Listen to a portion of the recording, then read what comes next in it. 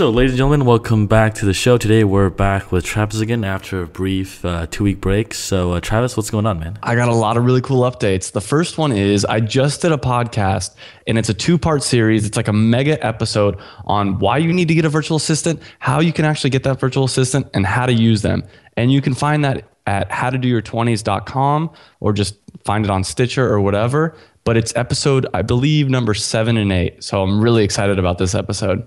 So the How to Do Your 20s podcast is a podcast I started. It's my own podcast, and it's basically all about how to optimize your life. And it's specifically set for things that people in their 20s are interested in. But truthfully, there's a lot of overlap. For instance, hiring a virtual assistant is something that anybody can do, but I'm specifically saying, like, hey, people in your 20s, this is something you're probably not thinking about. You should probably do. But I cover a lot of other topics that I think people of all ages would be interested in, such as being a digital nomad, traveling, etc. Gotcha. So if I'm a little bit older, like I'm 31, I won't feel like ostracized for being on your site. No, I no, I just wanted to niche down as much as possible. And I figured by saying, hey, if you're in your 20s, this is the podcast for you, it'll get that group of people. It's truly all about life optimization minus the how to optimize having kids or owning a house. That's not something I cover. Cool, cool. And uh, what's the goal of this podcast? Do you have any plans with it, or I got a couple different things, but truthfully, I really enjoy talking with different people. So the main reason I started it was to be able to share some nuggets of knowledge that I have, and more importantly, nuggets of knowledge that other people have, and kind of have one spot. I feel like there's a lot of podcasts that go on different topics. Like if you want to learn about business, you come to this one, or you want to learn about this, you go to the other one. But I wanted to do something that anybody in their 20s specifically would be interested in. Yeah, gotcha. And you're also speaking on an event, right? Yes, December 4th, I'm ex- speaking at an e-commerce summit. And if you use the code word gobble gobble, you get a free ticket. I believe it starts at 8 p.m. CST. Double check on the website. And I'm going to be speaking at 12 p.m. CST time. So get a free ticket come there's about going to be about five speakers including me and i'm going to do a whole big condensed thing on paid advertising. Literally everything i've learned about paid advertising in an hour. So the event is called e-commerce summit, and it's online, I believe. yep right? it's all online. You can get a free ticket. I mean there's no reason not to at least drop in and listen to me. There's once again five speakers all of us talking about different things. And if you own an e-commerce store and you're not going it's there's no reason not to go let's put it that way Yeah, it's like 2 a.m. for me, man. I don't know if I want to wake up and uh, hear you talk some more. I mean, we're already talking a lot right now, so oh are you kidding me you love it yeah, I'll, it's I'll make sure I mark that on my calendar. Alrighty then. So I guess for me, uh, I've just been working on the laptop sleeve for the past two weeks, and one thing that kind of really changed my thinking was that I was listening to this podcast called Ten Times Talk, and you're talking about you know how can you make uh, either your life or your goals or your business 10 times better, right? And remember, we talked about the book Zero to One. Uh, Peter Thiel was talking about how when you make something new, you want to make it 10 times better too. So, what I did was I made a list of, in like my Evernote, like how can I make this sleeve 10 times better than what's on the market? So, I kind of went through, like, yeah, the battery idea was kind of cool, but there's also like nine more things to fill, right? So, I was just going through that exercise and actually figuring out things that would be useful. So, things kind of like a cord organizer, because a lot of people they throw their charger cable uh, earphones, everything. It kind of gets becomes a tangled mess. You could build something like that in, and also like accessories pocket to put your uh, notebook, uh, tablet, phone, whatever, and also have like a butterfly design. Because when you go through TSA now in the airport, there are actually certain bags that you don't have to take your laptop out, but the design has to be it has to be like a clamshell design. It can't be like a huge bag. So something like that. It's kind of interesting how like you can do this exercise with something brand new too. So like, even for your store, like you know, how can you make your store ten times better than what's out there on the market? And, and so in the podcast, you're saying like when you start thinking ten times. Like your brain starts to visualize what it's like when you get there, and you also start paying attention to things that have bigger impact too. Uh, your first one is Google Docs. Google Docs, we use it for everything. I mean, we're using it to read the notes that we wrote for this episode right now. So, me and Terry both write down our ideas for an episode in one single Word type document in Google Docs, and we're able to collaborate in real time.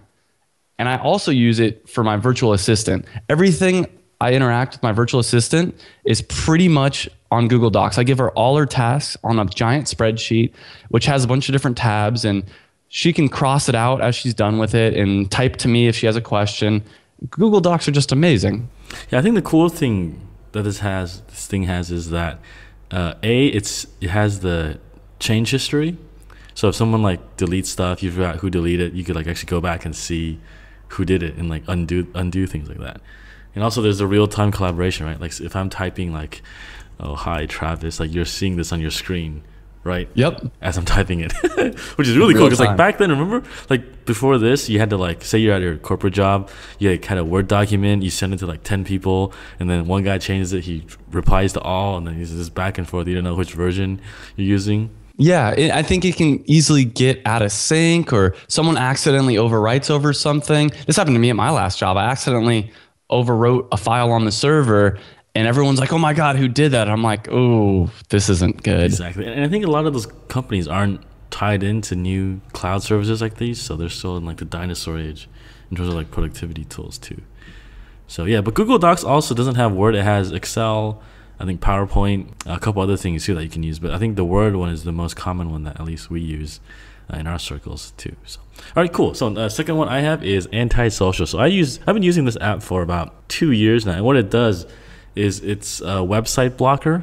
So it blocks social media and any URLs you specify, and you can set a timer for like two hours, three hours, four hours on how long to block it.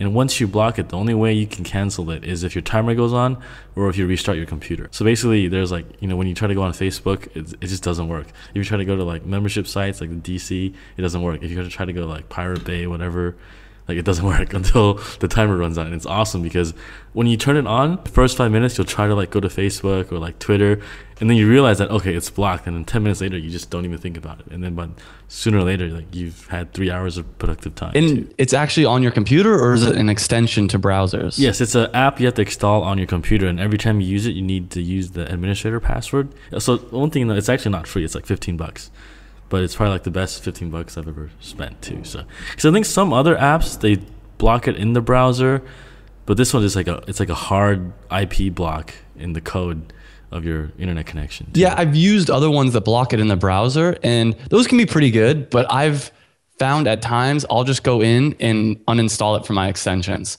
and it'll it'll pop up a message like, "Are you sure you want to do this?" I'm like, "Just leave me alone. I'm gonna uninstall this. I'm going on Facebook." So that's kind of cool that it's on your computer. There's no way around it. Yeah, and the only way around is if you restart your computer or if Yeah, and that's a pretty. I mean, you're not going to restart. It's pretty desperate if you're restarting your computer to go on Facebook. If you think about going through the process of restarting, closing everything, saving everything, oh, wow, I'm actually wasting a lot of time just to go on Facebook. And so the other whammy thing too is I leave my phone in a different room, so you're not tempted to like check it on your phone too, because you can easily be, oh, my desktop's blocked, but I'll check it on my phone. So I do that too, and then I really have nothing that can distract me. My next one actually is something very similar to the antisocial, and it's the newsfeed blocker. And what it is is in Facebook, it actually blocks just your newsfeed. So you can still use the messaging, you can still Facebook stalk people if you need to. And the reason I like this so much is because I've never had anything beneficial come out of the newsfeed. I just waste hours, even in my free time. I'm not even talking about trying to, like, not even trying to be more productive. It's just, you ever go on Facebook just because you're bored and you scroll down that newsfeed and, like, oh, this is an interesting article, or, oh, that person's picture is pretty cool. And I just, I, I never feel good about myself after I'm done with newsfeed. Now, with Facebook, I do use it sometimes because, uh, you know, when I'm traveling, you need to communicate with people and you can't always call them on the phone or whatever. And that's at the same time, like there is certain friends that I'm curious. Oh, what are they up to? Like I want to go look at their profile, but I don't want Facebook showing me what they think's interesting because it's usually just people complaining about politics or naked celebrities or something ridiculous that I don't care about. Yeah, like the whole Kim Kardashian thing last week. Apparently, she posed nude, and there's all these like memes and like animated gifs of like some of them are actually kind of funny, but it was just like, why am I spending time watching this? I don't even know what she does. Like, You know, one of the cool things, and I know Terry, you're probably not as big of a fan as I am about this, but it replaces it with a quote. And the cool thing about the quote is it's very similar to what you're talking about with antisocial. And when I go on Facebook just to waste time and I see a quote that says like something to the nature of, you know, you only have so long to live, like, are you really going to waste your time on Facebook? It quickly, like, I don't go to Facebook as often because every time I go there now, there's a quote saying, like, hey, you're slowly dying. Maybe you should not waste your time on this computer. And I'm like, oh, crap. yeah, until you hit the until you hit the uninstall on the plugin or disable it, right? Oh, but I'm never gonna do that because there's no real reason to. I, I, like I said, I don't ever get any pleasure out of uh, the Facebook newsfeed, so I don't ever see myself uninstalling that plugin. Wait, wait, I'm gonna rewind. I'm gonna rewind this podcast like five minutes ago, where you said, "Hey, I was deleting this plugin from my." From no, but that's YouTube. a different one. That's when it blocks Facebook as a whole. The problem is when it blocks when it blocks Facebook as a whole. There's times where I'm like, "Oh crap, I need to uh, e- or I need to message my friend. I have no other option," so I end up deleting it, and then I never re or I don't reinstall it for a day or two. Where this one, there's never uh, that I can think of going to be a reason where I'm like, oh, I need newsfeed. It's like if I'm interested in what one of my friends are doing, I'll go to their profile and be like, hey, that's a really cool picture you took. Or if I need to talk to someone, I can still do it. But newsfeed is just a waste of time, in my opinion. Yeah, it's, like those videos that are like, "Hey, uh, this mom." Or this girl lived with a gorilla for two years, and you won't believe what happened next. Or something. It's always the same So stuff. click clickbait stuff. It's always clickbait, and I always fall for it. And I know it's clickbait because I'm an internet marketer. Yeah, but it's like 20 signs you were born in the 1980s. You won't believe number 17. right? Oh, gosh. Yeah. All right. So my next one is uh, if this then that slash Zapier. So these are two different kind of automation tools. So if this and that Zapier, they're basically tools, uh, web apps that you can tie your different accounts in.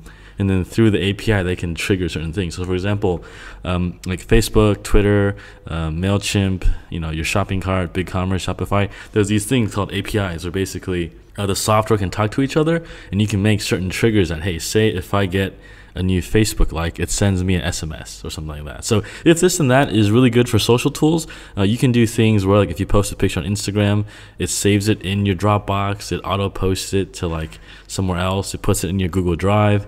Like if you have a Twitter thing, you favorite things, it can go to Pocket, uh, Nuzzle, any one of your reading apps, Evernote, things like that. So a lot of different recipes you can do. They if this and that has about I think 70 different apps it supports. So like Flickr, uh, you can even send SMSs. Um, you know RSS things like that. So that's a good tool for social media. Zapier is more of a business tool that some people use. So if you have like a CRM, uh, shopping cart, uh, email list, even like accounting things like Xero, Zoom, things like that, you can set certain triggers that uh, make different entries, things like that. And there's like there's like literally hundreds, if not thousands, of recipes. You can do that. Basically, automates everything that's repetitive uh, that you do either on your business or personal life. Hmm. I'll have to look more into Zapier. I still, still am curious about that. All right, so the next one is yours. Uh, LastPass. LastPass is an automatic password tool. So basically, anytime you log into any kind of website, it just automatically puts your password in for you. Let's say you know you're going to your Gmail every day. In fact, what it can do is it'll save it one time, and from that point on, it'll just auto log you in. That's really cool because you don't have to waste time typing, and also you won't ever forget your password because it's saved in LastPass. On top of this, a feature that I haven't used yet that I'm planning to start using soon is you can pay, I think it's $9.99 a year. Basically, you'll get family style or family mode. And family mode lets you have you and I think four other people in your quote unquote family, and you can share passwords. So if you're the admin of the family, you can give people the extension code and they'll use it and they don't even know what the password is. So they'll go to, let's say you want to give them a password to get into your Gmail. They'll just go to your Gmail, it'll log them in, and they don't even know what that password is because the app takes care of everything. And this is really useful for virtual assistants or people that are working for your company that maybe you want to give them temporary access, but as soon as they quit, you want to take all that away.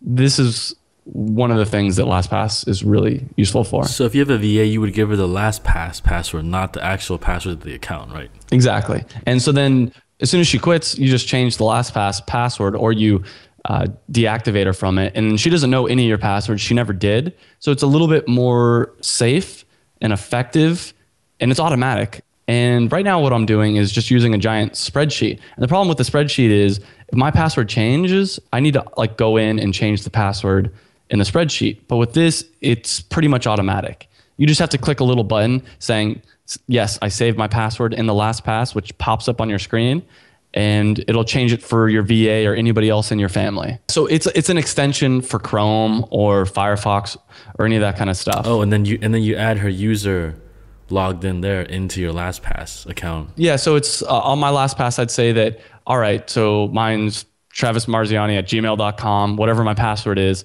Also have this person my va at gmail.com with her password and i'll give her that information I'll say, okay, share these passwords with her. But then as soon as she quits, I can say, no longer let myva at gmail.com be able to access my passwords. Boom.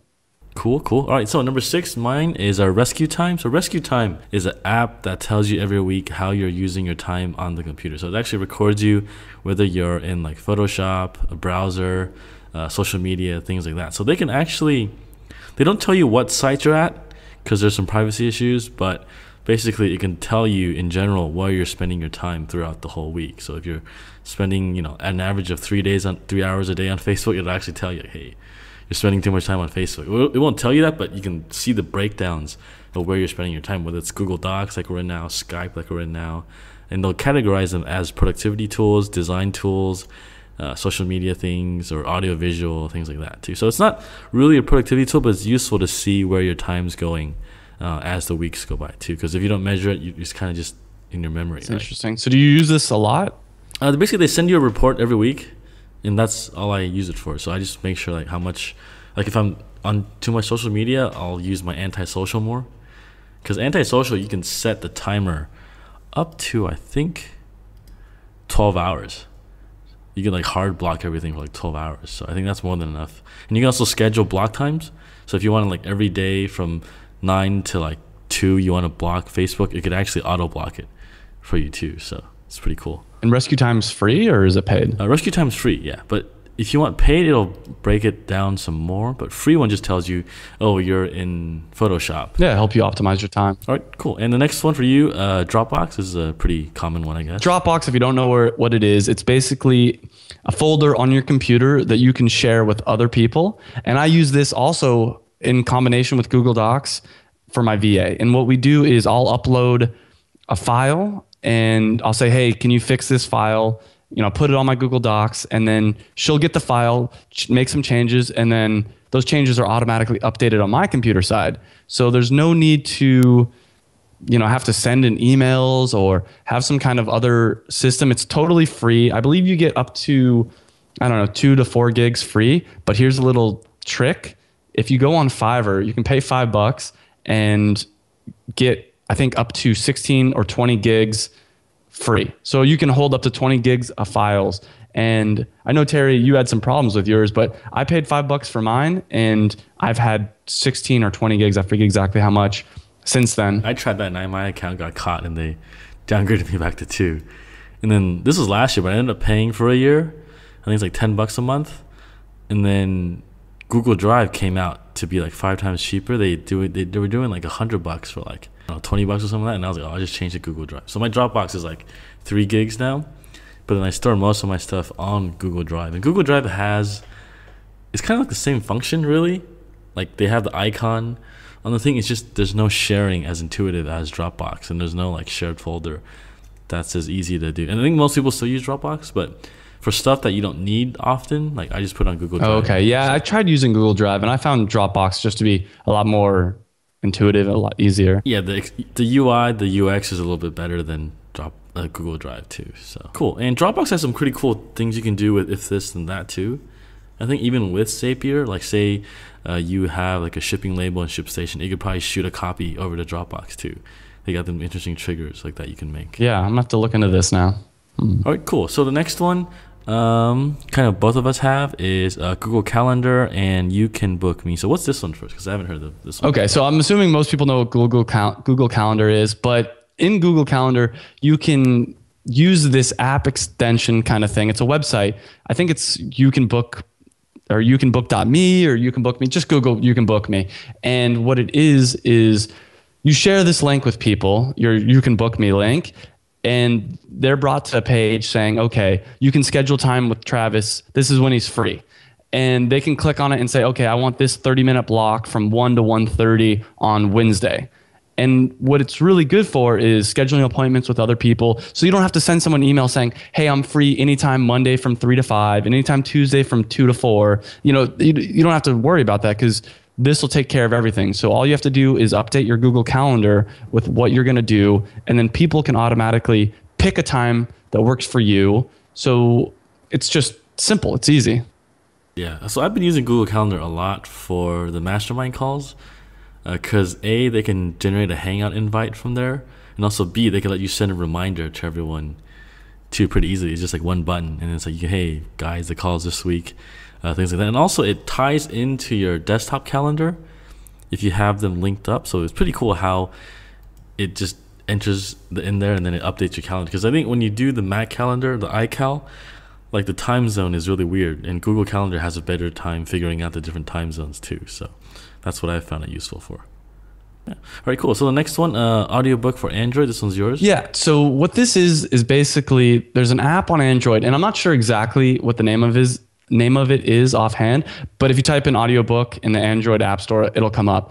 And it's really cool because you can put in audiobook files or podcast files and as you're listening to it, let's say you're listening to it before bed or while you're traveling or something, you can pause it, come back to it later, and it'll leave off exactly where you paused it. And for a long time, I was just using my MP3 player or just using like the music function on my Android phone, and it wouldn't save the spot for me. So, especially if you're listening to like a Joe Rogan style podcast that's three hours and there's no way you're going to listen to it all the way through, it's great to be able to pause it, come back exactly where you left off. Gotcha. Yeah, I think the iTunes one does it itself.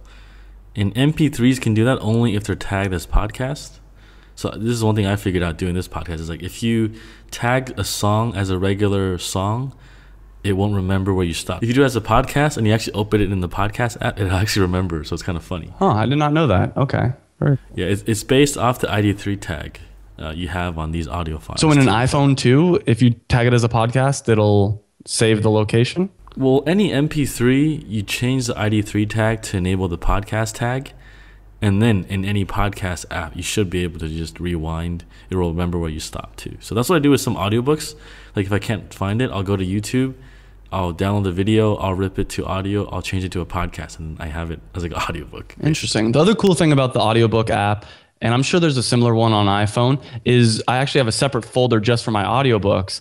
That way, I'm not, I don't have to scroll through my music. And when I'm listening to music, uh, audiobooks don't come up. Yeah. All right. Cool. So the next one for me is Asana. So Asana is a project management tool. So I don't really use this, but I signed up for it recently, and a lot of DCers here, my friends, I know probably like six or seven people that are using this for their teams. And so this is the tool that I think Uber, uh, Airbnb, Pinterest use internally. So basically, it's a dashboard where you can have certain projects and you can assign people to different things. You have a record of what they do. They can update their workflow, where they are with this project, things like that. So for store owners, if you have a team of say like three to four people and say you're doing a redesign, like you can put different tasks in the redesign and have the communications all happening in there too. Instead of an email chain that goes back and forth, uh, different versions of a Photoshop file you're sending everyone, and things like that too. So more of like for the established store owner. Uh, I know a couple of listeners are using it too that I was talking to on the mastermind call. So cer- certainly you should sign up for this too because it's free for the first 15 team members and after that you start paying but i mean unless you have like more than 20 people it's the perfect tool for you So if you just have, like, for instance, for me, I just have one virtual assistant. I assume Asana is kind of overkill. yeah it's kind of overkill so if you have the second virtual assistant and they're doing overlapping work uh, that's where you might want to look into asana because then you can track who's doing what uh, there's no lot, lot as much back and forth because i guess google docs is kind of a very one-on-one thing right and when you bring another person in it can get a little wonky especially if it's like design work like you know things like that that are more complicated that have different tasks to complete it's not just like hey do this do that it's more like hey it has some creative stuff i think asana is a good thing and free up to 15 people. All right. So as soon as I get that second one, I'm going to start thinking about this. All right, cool. So next one, uh, we have Screen Recorder. Uh, you have Camtasia.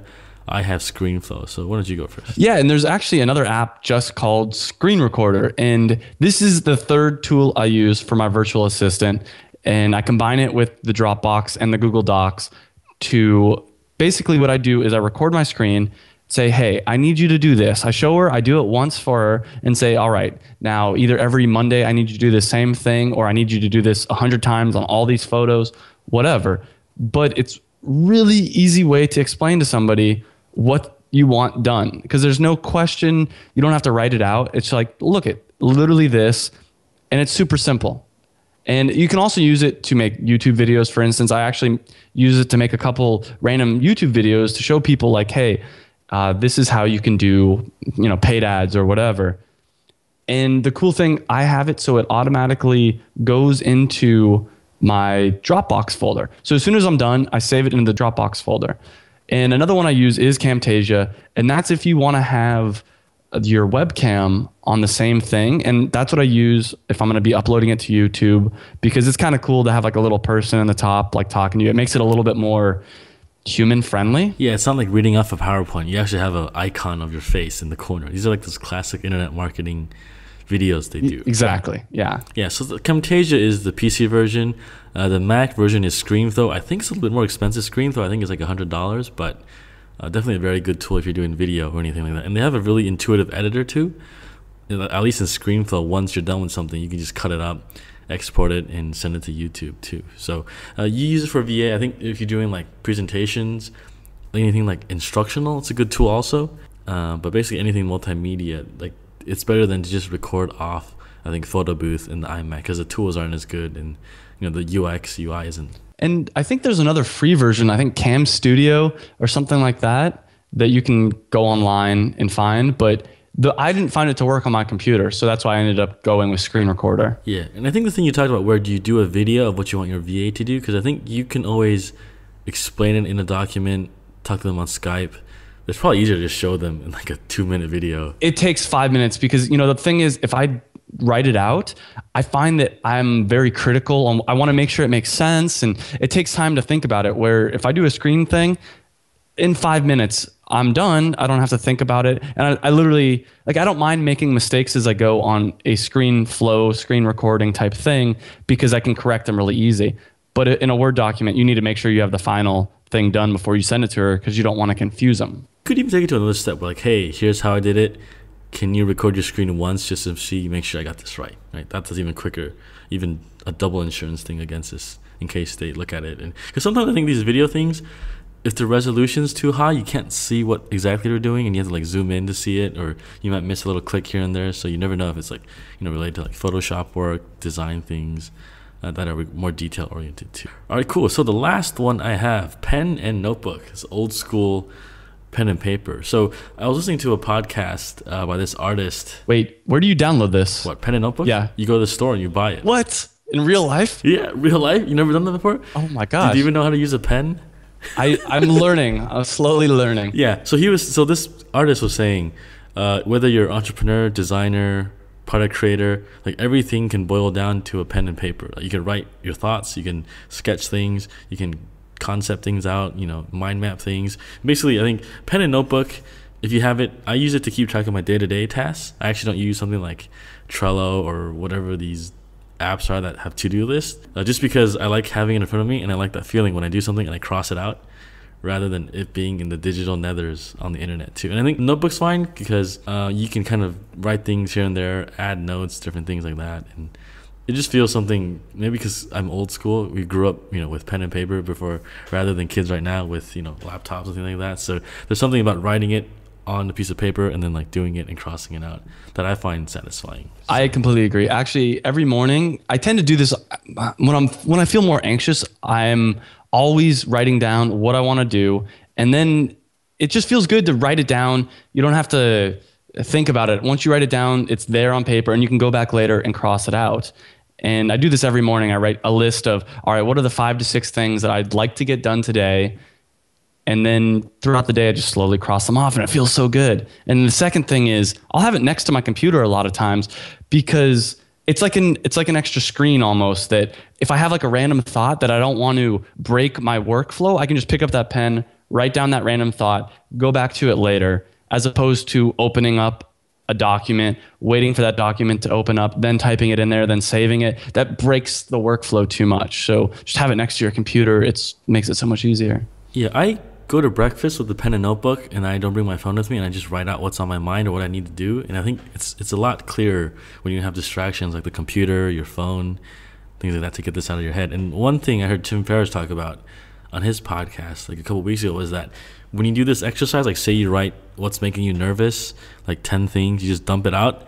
And then the next stage is to figure out uh, what out of that list makes other things irrelevant or easier to do, like a force multiplier, right? And then you can really narrow down like two, three things you really need to do on a piece of paper, and then you just focus on that. And you, so then you turn on antisocial, block everything, you know, Google Docs, whatever you need, and then you just focus on that after you've written it down on a piece of paper because it's always in front of you. Yeah, and uh, I used to actually that when I found this podcast, I used to just go for a walk every day, bring a little tiny notebook, like a pocket-sized notebook with me and take notes. And I believe there's something very i don't know primal's the right word but about writing down something it helps you actually remember it better so I'd, I'd write down the notes from your episodes actually and i wouldn't have to necessarily go back to my notebook because i just remembered them whereas if i just listened to them the podcast episodes and had these ideas and didn't write them down i would have forgot them it's just how it works yeah i think there's one thing if you look at like when you type notes into like a text file or evernote you can do it without thinking about it, right? You can listen to a music while you're doing that, while you're typing mindlessly. But when you write something down, you actually have to like think about what you're writing, because I guess writing is slower and your brain thinks faster, so your thoughts are more engaged by doing that action. I mean, there's probably some science behind this, but you know, we're not pros. We're just two guys on a podcast. Yeah. All right. So those are the 12 things uh, that we use for productivity uh, programs and apps. I'll go over this list again uh, Google Docs slash Google Drive, Antisocial, uh, Newsfeed Blocker. I believe this is only for Chrome. I'm not, I'm not sure if Firefox or Safari has it too. Uh, if this, then that. Zapier, uh, LastPass, Rescue Time, Dropbox slash Google Drive again, Google Calendar plus a plugin, You Can Book Me uh, audiobook for Android, uh, Asana for project management, screen recorder, Camtasia, ScreenFlow, and also the good old pen and notebook. Nice. That's a great exhaustive list. Yeah, I know. Speaking of exhaustive list, uh, I think it's time we get out of here and uh, enjoy our day. So, Travis, always good to catch up with you again, and we'll see you next week. Yep. Thanks for having me. Bye. Thanks for listening to this episode of the Build My Online Store podcast. If you want the show notes, make sure to check out the website at buildmyonlinestore.com. And if you got an e-commerce store, every two weeks I lead a live mastermind call with about five or six of the listeners in two separate groups where we work openly together and solve a business problem that you have. And we're all there to support each other. So if this sounds like a cup of tea, make sure to check us out at buildmyonlinestore.com slash mastermind. Thanks again for tuning in, and I'll catch up with you guys next week.